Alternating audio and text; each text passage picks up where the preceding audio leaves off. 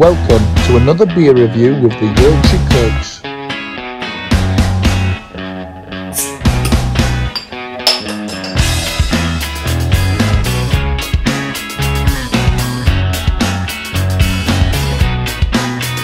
This beer is the Sam Smith organic handcrafted fruit beer, and this one's a cherry flavour.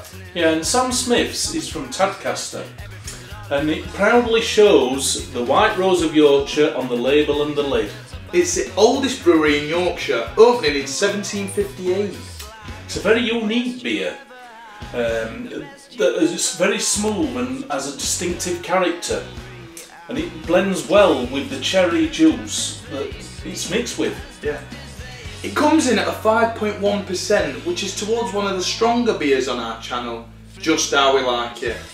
Well, uh, I can tell you it's a bob on from me. And it's a bob on from me. Cheers. Cheers.